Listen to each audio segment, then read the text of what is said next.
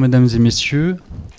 Alors donc, euh, avant tout, un petit propos introductif. Donc, euh, nous avons la, chance et le plaisir d'être réunis pour euh, la présentation en librairie du dernier ouvrage d'Éric Suir, donc catholique et protestant, minorité religieuse en Europe de 1500 à 1700.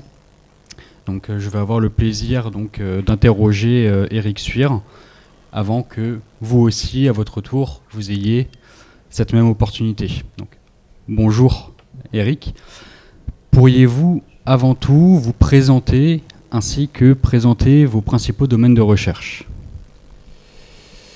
Bonsoir Xavier, bonsoir à tous. Euh, donc merci de me donner la, possibilité de, présenter cet ouvrage.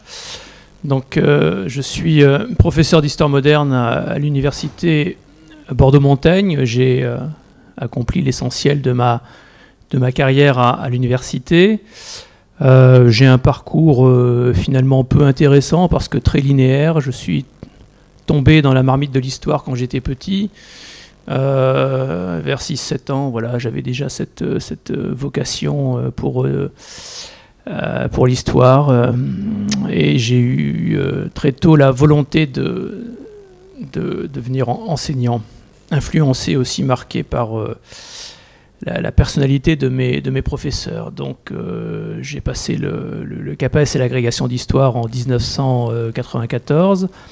Euh, j'ai pu ensuite faire dans de bonnes conditions une, une thèse sous la direction du professeur Philippe Loupès, et puis j'ai été recruté en, en 1999 à l'université Bordeaux-Montaigne, où j'exerce toujours mes, mes, fonctions. Hésité en revanche euh, entre histoire moderne et histoire contemporaine. C'est vrai qu'ayant été élève en, classe préparatoire, j'ai fait beaucoup d'histoire euh, contemporaine au cours de mes études. Et puis je crois que c'est la personnalité de mon, de mon professeur de Cagne de cette époque, Michel Fijac, qui est aujourd'hui mon collègue et euh, professeur d'histoire moderne, qui m'a déterminé à embrasser la cause de, l'histoire moderne. J'avoue que j'avais aussi une certaine admiration pour, euh, pour l'Ancien Régime, qui n'a pas compté pour rien dans l'histoire de notre, euh, pays. Euh, le choix de l'histoire religieuse a été un peu plus tardif, et là c'est vraiment la personnalité de mon, maître, de mon directeur de thèse, Philippe Loupès, qui a, qui a compté. Donc Philippe Loupès était professeur ici à Bordeaux 3, il avait écrit et publié sa grande thèse sur les chapitres échanoines euh, de Guyenne au XVIIe et XVIIIe siècle. Euh, il était à ce moment-là au jury d'agrégation, enfin c'était une figure euh, intellectuelle importante et c'est avec beaucoup de plaisir que je l'ai rencontré et que j'ai commencé à travailler en histoire religieuse. Dans, dans différentes directions en fait, puisque j'ai j'ai choisi de ne pas m'enfermer dans une thématique précise, mais j'ai essayé d'embrasser différents, euh, différents domaines de recherche. Donc j'ai commencé à travailler sur les ordres religieux à Bordeaux au XVIIIe siècle. Euh, ensuite, mon sujet de thèse proposé par, euh, par mon maître a été la sainteté française à l'époque moderne du Concile de Trente jusqu'à la Révolution, étudié à travers les, les procès de canonisation et la littérature hagiographique. Et c'est en m'intéressant à la littérature géographique que, que j'ai ensuite fait de l'histoire du livre une spécialité et qui a donné lieu à mon mémoire d'habilitation, donc euh, soutenu en, 2010 et publié chez Honoré Champion en 2011 sur euh, la littérature géographique euh, en France à l'époque à l'époque des Lumières. J'ai continué d'explorer les voies de l'histoire du livre avec un petit travail sur les vies de Jésus écrite et publiée en France et en Europe euh, du XVIe au XVIIIe siècle. C'est intéressant de, constater qu'on n'a pas attendu Ernest Renan hein, pour proposer euh, une biographie de Jésus euh, écrite selon des, critères rationnels, mais tout en continuant de, s'inspirer des évangiles. Et puis plus récemment, Étant devenu membre de la Société des Amis de Port-Royal, j'ai eu la possibilité donc d'écrire la biographie d'un confesseur de, Port-Royal, un, prêtre, un prêtre du XVIIe siècle, Nicolas Le Tourneux, qui a été quelqu'un euh, d'important dans le domaine des traductions euh, liturgiques. Donc oui, j'ai louvoyé entre histoire du livre, histoire religieuse, histoire des ordres religieux, et euh, c'est évidemment tout cela qui m'a conduit à écrire cette, euh, ce, manuel sur catholiques, protestants, minorités religieuses en Europe. Alors, bah, justement, euh, vous embrayez pratiquement sur, euh, sur ma deuxième question, qui est finalement pourquoi avoir écrit ce livre? Pourquoi, après avoir donc, enchaîné sur autant de domaines et avoir récemment, en 2023, si je ne m'abuse, publié votre ouvrage sur Nicolas Le Tourneux, pourquoi avoir écrit ce manuel universitaire alors j'ai écrit ce livre euh, en liaison avec un, cours euh, que, j'assure depuis deux ans en deuxième année de licence d'histoire, un cours sur euh, catholique et protestant en Europe. Donc c'est à partir de ces cours que j'ai eu l'idée de, cette, de cet ouvrage. Et j'ai eu l'idée de ce livre en fait parce qu'il n'existe pas. C'est-à-dire que dans la bibliographie que je pouvais recommander euh, à mes élèves, euh, il n'y avait pas de synthèse existante, euh, accessible sur cette question, sur cette question malgré tout complexe. Et donc j'ai eu l'idée de ce livre parce que je, ne connaissais pas d'équivalent sur, sur le sujet. Euh, j'ajoute que j'aime beaucoup aussi écrire des, ouvrages de, vulgarisation, des manuels. Et dans ma carrière d'enseignant-chercheur, j'ai toujours essayé d'alterner l'écriture d'ouvrages scientifiques et d'ouvrages euh, oui, de vulgarisation. Euh, peu de temps après ma, la publication de ma thèse, donc j'avais écrit un vocabulaire historique du christianisme chez Armand Collin, qui, a assez bien marché d'ailleurs, qui été l'un de mes, mes best-sellers qui, n'a plus vraiment d'intérêt aujourd'hui parce qu'avec Internet, c'est très facile de s'informer et de, d'avoir euh, des, éléments importants sur ces, euh, sur ces notions de vocabulaire. Ce n'était pas le cas en 2004. J'ai ensuite participé à de nombreux manuels de, concours. Euh, j'en ai dirigé un en 2020 lorsque le monde de l'imprimé donc était, était la question d'histoire d'histoire moderne. Donc voilà, c'est à la fois l'intérêt pour, euh, pour la vulgarisation, je dirais, de, de, qualité, et puis la volonté de me d'écrire quelque chose qui n'existait pas, qui m'a conduit à, à rédiger cet ouvrage. Et d'après vous, quelle serait la principale qualité d'un manuel universitaire qui serait donc destiné à un public essentiellement étudiant, mais pas seulement, pas exclusivement?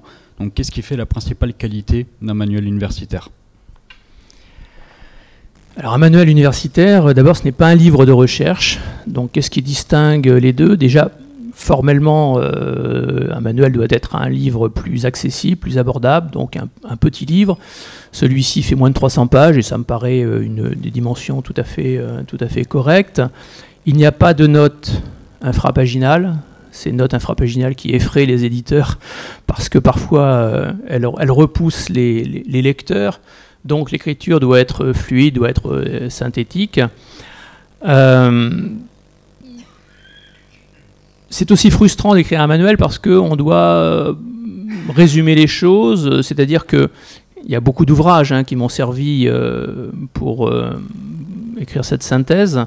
Et parfois, malheureusement, je ne leur consacre que deux ou trois lignes euh, dans le, dans le livre. Hein. donc, il faut avoir un esprit de synthèse. Euh, je pense à, quelques exemples. Le grand livre de Myriam Yardeni sur euh, le refuge Guenot, je, l'utilise, mais c'est trois lignes, c'est trois lignes d'un chapitre. Hein, ou l'ouvrage récent de, Jérémy Foa sur, sur la Saint-Barthélemy, Tout ce qui tombe, bon, qui, a, qui, qui a eu un, un grand retentissement. Bon, je, l'évoque là encore dans mon chapitre sur les guerres de religion, mais c'est deux lignes. Donc il faut accepter cela, il faut accepter euh, euh, de dépouiller l'écriture, d'aller à l'essentiel, euh, de résumer, mais de, ne pas simplifier. C'est-à-dire j'essaye d'écrire les choses de manière simple, mais sans les simplifier. un bon manuel doit refléter une vulgarisation exigeante. J'aurais une petite anecdote à ce, à ce sujet à, vous livrer, un échange avec un, un, journaliste, euh, euh, après avoir lu un, article d'un magazine euh, qui paraît le, week-end et qui portait sur les sur les, la communauté portugaise de, Bayonne, hein, les, les, maranes exilés et réfugiés dans le quartier Saint-Esprit à, à, Bayonne, donc sujet qui m'intéresse éminemment, et puis je connaissais les travaux d'Anzing sur la question. Donc j'ai lu avec beaucoup d'avidité euh, euh, cet article en deux pages. Donc, euh, et il m'a beaucoup surpris parce qu'il y avait un certain nombre d'inexactitudes flagrantes des propos disant par exemple que les, juifs avaient été chassés par l'inquisition portugaise, alors que l'inquisition ne s'est jamais préoccupée des, juifs mais des, des judéo-converts, ce qui est quand même très, très différent. Et, par ailleurs, ces maranes n'avaient pas été chassés, mais ils avaient fui avec beaucoup de, courage d'ailleurs, en, déjouant les, les, tentatives pour les, pour les retenir. Donc je me suis permis d'écrire aux journalistes qui avaient pondu cet article pour dire qu'il y avait des, petites euh, approximations dans son, dans son travail. J'étais persuadé qu'il ne me répondrait pas. Or, il a fait l'effort de, m'écrire. Et je, alors, je ne me suis pas présenté comme un professeur d'université, hein. euh, mais il, a fait, il, a, il a fait l'effort de répondre en disant euh, Je vous remercie pour vos remarques, mais c'est un article de vulgarisation, donc ce n'est pas très grave s'il y a des, erreurs. Alors, ça, c'est difficile à, admettre hein, pour, un, enseignant. Euh, non, on est euh, obligé en 300 pages de synthétiser, de résumer, mais l'objectif, c'est quand même de, de, traquer l'erreur et d'essayer de dire le, moins, d'écrire le moins de, bêtises possible. Donc voilà, c'est ça. Hein. Pour, pour, moi, un bon manuel, c'est quelque chose d'abordable, de suffisamment bien écrit pour pouvoir attirer des étudiants, éventuellement des collègues, et puis un public, euh, un public plus large quelque chose qui soit au courant de, l'actualité historiographique, hein, qui soit en phase avec l'évolution de l'historiographie, mais qui ne soit pas jargonnant, qui ne soit pas trop, trop pénible à, lire. Enfin, j'espère. Je confirme, il n'est pas pénible à lire. Euh, en quoi est-ce que votre euh, ce, travail de synthèse donc nécessaire à tout manuel a impacté sur la, composition et la constitution de l'ouvrage. Comment avez-vous finalement construit ce manuel? Alors, ce, manuel est le fruit donc euh, d'échanges avec mes étudiants, puisqu'en fait beaucoup de beaucoup de, chapitres sont tirés de, cours, de cours de donc notamment ces cours de, licence euh, en deuxième année, euh, de séminaires également, de cours de master, et, j'ai pu m'enrichir hein, de, ce, dialogue avec les étudiants parce que c'est très bien de pouvoir tester en, leur présence euh, un enseignement. Hein. on voit très vite la réaction, euh, notamment un cours d'amphi. Quand on est face à 150, 200 étudiants, on se rend compte très vite de ce qui fonctionne et de ce qui ne fonctionne pas. Alors quand ça ne fonctionne pas, on essaye de le, euh, de, rectifier le tir, et puis quand ça fonctionne, eh bien, on, conserve, on conserve l'idée. donc il y a 19 chapitres dans, cet ouvrage des petits chapitres. Certains sont des chapitres de, synthèse qui correspondent à des grands cours généralistes, parce qu'il y a évidemment des questions qu'on ne peut pas occulter. Les origines euh, des réformes religieuses, euh, la réformation, la contre-réforme ou réforme catholique. Euh, donc ce sont des, évidences. Hein. Et puis il y a aussi ce que j'appellerais des coups de projecteur. C'est-à-dire qu'il y a des chapitres qui ne sont pas des synthèses, mais qui attirent l'attention sur des événements euh, qui peuvent euh, passer inaperçus, mais qui ont eu un grand retentissement en leur temps. Il y a par exemple un chapitre sur la conversion d'Henri IV. Événement oublié aujourd'hui, Henri IV a changé six fois de religion, mais sa dernière conversion, l'abjuration de Saint-Denis, le 25 juillet 1593, a été un moment extrêmement important, attendu par les Français qui euh, enfin la majorité des Français catholiques qui souhaitaient avoir euh, un, souverain euh, de même religion. et c'est un moment très important parce qu'évidemment les détracteurs d'Henri IV, ses adversaires, les ligueurs, n'ont pas du tout cru à la sincérité de cette dernière conversion. Donc il y a tout un, tout un ensemble d'enjeux politiques et religieux au cours de, cette, de cet épisode. Aujourd'hui, c'est pas du tout ce qu'on retient du règne d'Henri IV. Hein. Si on demande à un petit Français qu'est-ce, qui, qu'est-ce que Henri IV a, à apporter. On aura peut-être droit à la, poule au pot, mais ça, c'est même pas sûr. Euh, on parlera surtout de l'édit de Nantes, par exemple, hein, de, 1598, qui a effectivement euh, euh, pacifié le, royaume. Mais, dans l'esprit des contemporains, la conversion du roi était un moment extrêmement important. C'est pour ça que j'ai voulu écrire ce, chapitre en montrant que finalement, il y a peu de doute sur la sincérité du souverain, hein, qui a effectivement louvoyé pour des raisons politiques et religieuses, mais qui a toutes les raisons d'adhérer à la foi catholique au moment de de son abjuration. Autre chapitre également qui est, une, qui est un coup de projecteur, c'est la contre-réforme des savants, pour montrer que la division religieuse euh, des 16e et 17e siècles, elle s'est finalement appliquée à tous les domaines de la vie intellectuelle, culturelle et scientifique. les théologiens, naturellement, ont été concernés, mais les scientifiques ont également été concernés. il y a eu, dans un premier temps, dans les premiers temps de la Réformation, de grands savants protestants. Et l'Église catholique, senti, on a, ressenti une certaine, humiliation et elle s'est efforcée de, corriger cela hein, en encourageant les sciences et en attirant à Rome de grands mathématiciens comme Christophe Clavius, hein, ce mathématicien allemand qui a contribué par ses travaux astronomiques à la grande réforme du calendrier euh, de, de, Grégoire XIII donc en 1582. N'oublions pas non plus que les deux plus grands mathématiciens français du XVIIe siècle étaient euh, des catholiques très, pieux, très engagés. Euh, Pierre de Fermat à Toulouse, hein, magistrat Pierre de Fermat qui était proche des jésuites, et puis Blaise Pascal, bien sûr, qui lui euh, avait une autre sensibilité, puisque, comme chacun sait, il était proche de, de Port-Royal. Donc voilà, c'est un point qui peut paraître anecdotique, la contre-réforme des savants, mais euh, elle rappelle aux, contemporains que la, situation de, du temps était très différente de la nôtre, et euh, par exemple qu'à la fin du XVIIe siècle, euh, protestants et catholiques n'avaient plus le même calendrier. Les, dates du calendrier n'étaient plus les mêmes.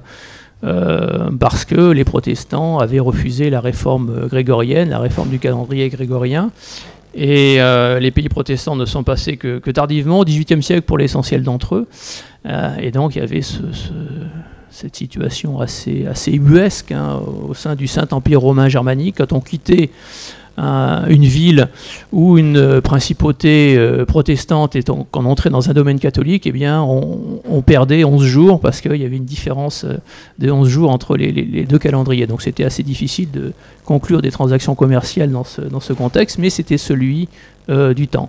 Donc voilà, un manuel tiré d'expériences de, de cours et avec des synthèses, celle-ci assez proche du cours que j'ai pu assurer, et puis ces fameux coups de projecteur qui euh, sont davantage inspirés par euh, la pratique de la, de la recherche. Donc finalement un manuel qui raconte l'histoire d'une division, l'histoire d'un éclatement. Comment peut-on d'ailleurs expliquer euh, cet éclatement durable de, du catholicisme, donc de, de l'Église latine en des confessions euh, divergente, donc un éclatement irrémédiable, alors que finalement, ce n'est pas la première fois dans l'histoire euh, que le catholicisme euh, en Europe occidentale se divise de manière assez brutale, hein, pour ne citer que l'exemple du schisme d'Occident, de l'épisode de, la papauté d'Avignon. Pourquoi finalement est-ce que cet éclatement-là, entre catholiques et protestants, est irrémédiable? Euh, ah oui, c'est vrai que cette, division interpelle parce que l'Église latine avait connu, avant l'époque moderne, beaucoup de, beaucoup de dissidences, hein, beaucoup de, contestations. Alors on pourrait énumérer euh, toutes les, hérésies dénoncées par l'Église, les pauvres de Lyon ou les Vaudois. Euh, tout d'abord, les, les, Bogomiles ou Qatar ou les, euh, contre lesquels donc euh, Saint Louis a fait la croisade au XIIIe siècle, et puis il y a eu ensuite le, mouvement autour de John Wycliffe euh, en, Angleterre au XIVe siècle. Jan Hus, hein, le grand réformateur tchèque du, début du XVe siècle, il y a beaucoup de beaucoup de points communs avec Martin Luther. Hein, très intéressant de, comparer leur trajectoire. Et euh, c'est vrai que les dissidences, euh, les dissidences anciennes n'ont pas, n'ont pas débouché sur de véritables églises, ce qui se produit à l'époque moderne. La, nouveauté de la rupture, euh, rupture religieuse de, de l'Europe latine au XVIe siècle, c'est que des églises se forment, se structurent, et que la division s'est pérennisée. D'ailleurs, catholiques protestants, il y a aussi des, divisions au sein du monde catholique. Alors, pas aussi forte naturellement. Euh, et puis des divisions au sein des mondes protestants, hein, puisque le, protestantisme, c'est une, nébuleuse en soi avec, euh, des églises euh, rivales entre elles. je rappellerai que la, réunion du protestantisme français est finalement très récente, hein, puisque c'est en 2012 hein, que l'Église protestante euh, unie de France euh, est apparue, et c'est la suite de, négociations qui, ont été menées à, partir de 1973. Mais même encore aujourd'hui, euh, cette Église protestante n'associe pas tous les protestants français, puisqu'en Alsace-Moselle, hein, les, églises n'ont pas, rallié cette, Église unie. Donc euh, c'est vrai qu'on peut s'étonner hein, de, l'importance de ces, divisions, et puis on peut se demander ce qui a fait le succès de la, confessionnalisation, de la division confessionnelle de l'Europe latine euh, euh, dès, le, dès XVIe siècle. Alors je reviens à la comparaison entre, entre Jan Hus et Martin Luther. Elle est très éclairante. Elle est très éclairante puisque ce qui a manqué à Jan Hus, c'est l'appui politique dont Martin Luther a lui bénéficié. Euh, si Martin Luther a pu euh, échapper euh, à, la, à la mise au banc de l'Empire que Charles Quint avait lancé contre lui à l'issue de la diète de Worms en, avril 1521, c'est parce qu'il est protégé par son, par son, prince, par son seigneur direct, hein, qui est l'électeur de Saxe euh, Frédéric le Sage. Donc le, soutien politique à la Réformation, le soutien de certaines villes, le soutien de certains princes qu'on a qualifiés de princes protestants, je pense à, Philippe le Landgrave de Hesse, a été un élément absolument euh, essentiel. Euh, Yann Hus, après son arrestation, est abandonné par tout le monde. Enfin, il est, seul hein, face, à, ses juges. Luther a été protégé. Euh, c'est le, fameux épisode de la, captivité de la, Wartburg. Et puis, autre explication au succès de Luther, euh, c'est euh, très certainement la rivalité entre l'université de Wittenberg et l'université de, Cologne. Parce que Martin Luther a été le docteur d'une jeune université et en rivalité avec euh, l'université de Cologne, plus ancienne, plus prestigieuse, euh, animée par les, par les dominicains. Et donc dans ce conflit, dans ce conflit euh, religieux entre, entre les, deux, les, deux facultés de théologie, les universitaires, les enseignants de Wittenberg ont fait corps derrière Martin Luther et les ermites de, Saint-Augustin, ordre auquel appartenait euh, Luther, ont également euh, fait corps derrière lui contre les, dominicains. Donc il y a des éléments politiques et religieux qui ont été extrêmement importants et qui ont permis à Luther d'installer durablement sa réforme. Hein, l'affichage supposé des 95 thèses, c'est le 31 octobre 1517. Euh, les premières églises protestantes, hein, le moment où le, papisme est chassé de Hesse, c'est 1526-1527. Donc il y a là une, période qui a été très favorable euh, pour le luthéranisme, alors qu'il ne, dispose pas encore d'une synthèse doctrinale. Hein. Il n'y a pas de, il n'y a pas de théologie luthérienne formalisée, il n'y a pas de système théologique euh, euh, évangélique complètement, euh, complètement abouti, mais il y a des éléments euh, très favorables qui, qui, montrent qu'en Allemagne, hein, les prédications de Luther ont eu, ont eu un succès. on pourrait aussi mettre en avant le, le phénomène de l'imprimerie hein, et, et l'aide que, que, certains imprimeurs ont apporté à, ont apporté à Martin Luther aide de l'image également à travers son, ami euh, Luca Cranach, l'ancien, hein, qui, a, qui a mis son talent au service de la réforme. Donc voilà, il y a un ensemble de, de, un faisceau d'éléments qui ont contribué à ce succès, qui ont pérennisé euh, la réformation. Mais l'élément essentiel, c'est vraiment l'élément euh, politique. Hein. J'ai longuement parlé de, Luther, mais on pourrait également évoquer la situation de Calvin à, Genève, hein, la cité-État qui s'est affranchie de, de la tutelle du duc de Savoie, euh, qui a adopté la réforme euh, bernoise et qui, euh, à travers donc l'adoption de la, religion réformée, trouve un élément d'unité qui permet de, lutter contre l'influence du duc de Savoie catholique. Donc voilà les, racines de la, division, religieuse de l'Europe.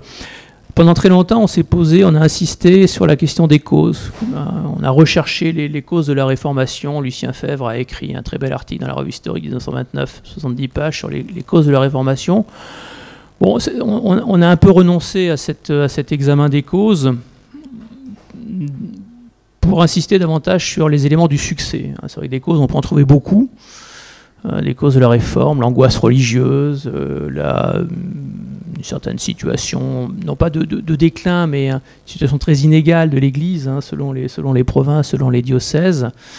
Euh, mais le, véritable intérêt pour l'historien, c'est de réfléchir aux causes du succès, et l'élément politique est, tout à fait important dans le cas de la Réformation. On, doit par ailleurs à ce succès, donc euh, le, fait bah, que ces églises euh, se, soient apparues, se soient implantées, aient été durables euh, à l'échelle de l'Europe, et notamment elles vont profondément remodeler donc le, théâtre politique et religieux de l'Europe occidentale, en sachant que elles deviennent à part entière des, actrices du, théâtre politique, même militaire européen. Dans le cas de, la France, lorsque euh, le, protestantisme commence à s'implanter, on a tendance à euh, résumer ça ou du moins le limiter aux guerres de religion, mais euh, tout ce qui concerne les relations entre protestants et catholiques à l'échelle de l'Europe ne se limite pas uniquement à des guerres, ou s'il y a des guerres, elles, prennent des formes ou elles ont des raisons et des conséquences radicalement différentes. Donc finalement, comment est-ce que les relations entre catholiques et protestants à l'échelle de l'Europe se sont établies alors, il y, a, clairement deux phases. Hein. Il, y a une, phase d'affrontement, parfois euh, violent, et puis ensuite il y a une phase de, cohabitation. Le, XVIe siècle a été dominé par les affrontements, hein, ce, qu'on appelle depuis le XVIIIe siècle les, guerres de religion, que les contemporains ont surtout analysé comme des, troubles politiques, mais euh, des espaces ont été euh, concernés par ces guerres de religion. L'Allemagne, tout d'abord, le Saint-Empire romain germanique, avec euh, les, guerres de la, Ligue de Smalkalde à la fin des années 1540. La Ligue de Smalkalde, c'est une association de princes et de villes qui adhèrent à la confession luthérienne, la confession d'Augsbourg, qui a été rédigée pour la diète d'Augsbourg par Philippe Mélenchon en, en 1530. Donc là, le combat est très politique en fait hein, entre, entre l'empereur, euh, l'empereur Charles Quint et puis euh, des villes et des princes euh, qui, qui veulent s'affranchir de son autorité, qui veulent trouver une certaine autonomie hein, dans, le, dans, le, dans l'espace germanique. La France ensuite hein, été concernée par ces, ces, guerres religieuses, alors de façon plus, plus profonde, plus, plus cruelle, plus, plus longue au XVIe siècle. Hein. La, période des guerres de religion, c'est 1562-1598, euh, c'est pratiquement 40 ans. Alors pas 40 ans de troubles permanents, mais euh, de, climat de guerre civile avec des, des, euh, massacres. Hein, euh, la Saint-Barthélemy est très connue, mais il y a eu aussi la Michelade quelques années avant à Nîmes, hein, à Saint-Michel 1567, massacre, de 300, 300 catholiques par des, par des protestants. Donc il y a eu, des massacres, des événements, des événements militaires. Et c'est vrai qu'on peut se demander comment, au nom de l'Évangile, on a pu hein, se, massacrer, s'étriper pendant toutes, toutes ces années.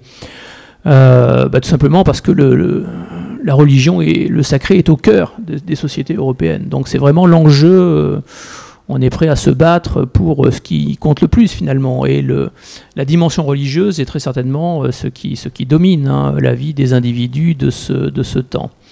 Euh, les Pays-Bas se sont déchirés également un petit peu après la France, hein, à partir de 1500, 1567. et alors aux Pays-Bas, l'élément politique est aussi extrêmement présent puisque outre la dimension donc d'affrontement entre entre euh, calvinistes et puis euh, catholiques, il y a la dimension proprement patriotique, hein, puisque les, sept provinces euh, du Nord se, sont, se sont associées pour se libérer de la, tutelle espagnole. Hein. c'est la, guerre de, de, 80 ans qui s'achève qui s'achève en, 1648, au moment où l'Espagne reconnaît donc l'indépendance des, provinces, unies.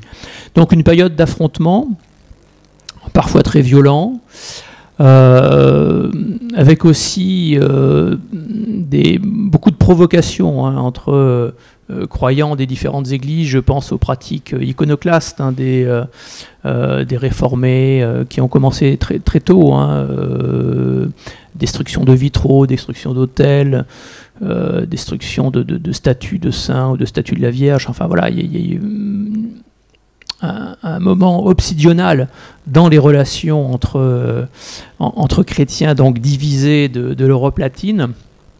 Et puis cette phase, euh, cette phase obsidionale a cessé euh, progressivement, a été remplacée par une phase de cohabitation. Alors euh, les historiens hésitent hein, pour cerner le moment où, tout, tout, bascule.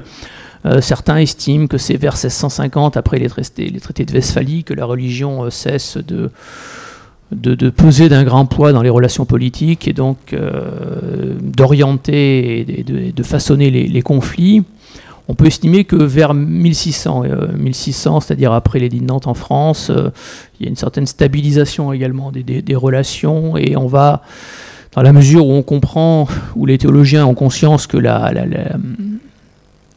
scission est certainement durable entre, euh, entre chrétiens des différentes églises, on comprend qu'il va falloir passer à une autre phase qui est la phase de la coexistence la phase de la coexistence, de la cohabitation avec, euh, avec celui qui était euh, considéré comme un traître ou un, ou un ennemi. Euh, cohabitation qui n'a pas été facile d'improviser. Hein. Alors, différentes initiatives ont été, ont été prises. On, peut citer l'exemple de l'édit de Nantes, qui est tout à fait intéressante, puisque l'édit de Nantes, dans ses, dans ses, dans ses clauses, organise un, un devoir d'oubli. On parle beaucoup aujourd'hui du devoir de mémoire. Euh, L'édit de Nantes demande aux anciens belligérants de ne plus évoquer ce qui s'est passé au moment des troubles.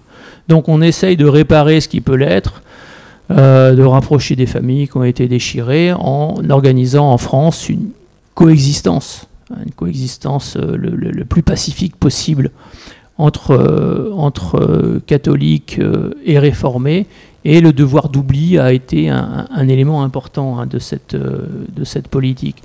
Mais euh, naturellement, la, la chronologie n'est pas linéaire, c'est-à-dire qu'on voit des... Euh, on associe les guerres de religion au XVIe siècle, mais on voit des guerres de religion ressurgir au XVIIe siècle, même si elles ne sont pas exclusivement religieuses. Je pense à la guerre de 30 ans qui déchire euh, le, Saint-Empire romain germanique hein, entre 1618 et 1648, qui, est un conflit qui n'est pas du tout euh, exclusivement religieux, qui a d'autres causes que la religion, qui est aussi un conflit politique, mais où la religion joue un grand rôle et qui a été terrible pour l'Allemagne, puisqu'on estime que c'est peut-être 4 euh, millions hein, d'Allemands qui, sont morts au cours de ces, années. L'Angleterre également est frappée hein, par les guerres civiles, où l'élément religieux a a un rôle considérable dans les années 1640, hein, et, guerre civile qui aboutissent à, l'exécution de, Charles Ier en 1649. Alors la spécificité de ces conflits religieux euh, anglais, c'est qu'ils n'opposent pas euh, catholiques et protestants, mais protestants entre eux, hein, puisque c'est l'Église d'Angleterre euh, qui affronte les presbytériens dans un premier temps et et euh, les, catholiques n'ont pas de, rôle hein, ou un rôle extrêmement minime dans, cette, dans, ce, conflit. Donc une phase de guerre de religion qui s'achève vers 1600, qui ne sont pas totalement éteintes au XVIIe siècle, mais au XVIIe siècle, c'est malgré tout la, tentative de coexistence religieuse qui va, euh, s'imposer. Quelle, est, quelle serait, d'après vous, la, part d'implication personnelle que vous avez dans la rédaction de cet ouvrage C'est-à-dire, qu'est-ce qu'on peut qualifier d'objectif et de neutre dans ce manuel que aujourd'hui vous présentez au public? Alors, euh, une question intéressante parce qu'elle soulève le, problème essentiel, qui est le problème de la vérité historique. Est-ce qu'il y a une vérité historique? Est-ce qu'on peut l'atteindre? Est-ce que l'historien doit être neutre? Euh, Bon, alors, cet ouvrage n'est pas un ouvrage de recherche, donc c'est un, une synthèse qui se veut la plus... Euh, euh, la plus neutre, la plus objective possible. Et en même temps, j'ai bien conscience que la, vérité historique est probablement un mythe ou quelque chose qu'il est très difficile d'atteindre. Très difficile d'atteindre parce qu'on ne cesse de projeter dans le passé nos propres interrogations. Hein, le grand Lucien Fèvre écrivait On ne fait d'histoire que du présent. Et c'est très vrai.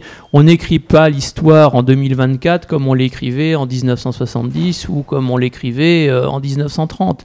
Il y a des interrogations qu'on projette dans le passé. Je pense par exemple à quelque chose de tout simple, mais c'est euh, la gender history qui a beaucoup d'importance aujourd'hui. Hein, euh, voilà une problématique très, neuve, quelque chose qui, ne serait pas venu à l'esprit de nos, euh, de nos ancêtres ô combien glorieux, euh, mais même Brodel, Fèvre, Marc Bloch, enfin voilà, n'auraient pas eu l'idée de ces, questionnements. Donc on projette dans le passé des, interrogations contemporaines et je, pense que je ne suis pas à l'abri hein, de, ce, penchant. Maintenant, j'estime que l'histoire est avant tout une, science ou une discipline herméneutique. C'est-à-dire que c'est un, une discipline qui propose des interprétations. Voilà. Euh, et, c'est aussi une discipline où même s'il est difficile d'atteindre euh, l'objectivité et, la neutralité, il y a un phénomène d'intersubjectivité qui fait qu'entre historiens, on se lit, on se relit, on échange, et euh, c'est cette intersubjectivité qui peut-être permet d'arriver à une certaine euh, neutralité ou objectivité. Mais je crois beaucoup à cette idée de, proposer des interprétations. Donc je propose dans ce livre des, des interprétations qui ne sont pas exclusivement les miennes, hein, puisque je m'appuie sur une bibliographie abondante, mais c'est évidemment à travers mon regard, à travers la lecture que je fais de ces, de ces historiennes, historiens, euh, que j'arrive à proposer cette, euh, cette synthèse. Et une dernière question avant de céder la parole au public. Avez-vous des regrets par rapport à ce manuel? Alors, euh, des regrets, oui, certainement. Bon, on est toujours satisfait hein, quand un ouvrage paraît, parce que ça, demande un petit peu de travail, et puis il y a tout un travail éditorial aussi important. Euh, donc il y a, lorsque le livre paraît, c'est un soulagement et un motif de satisfaction. Et puis très rapidement aussi l'inquiétude. L'inquiétude vient parce qu'on se demande quelle sera la, réaction du public, est-ce que euh, voilà quel, est l'accueil du livre. Alors personnellement, le, regret que j'ai, c'est que cette Europe dont je parle, euh, c'est principalement, exclusivement l'Europe latine. C'est l'Europe latine, c'est l'Europe occidentale.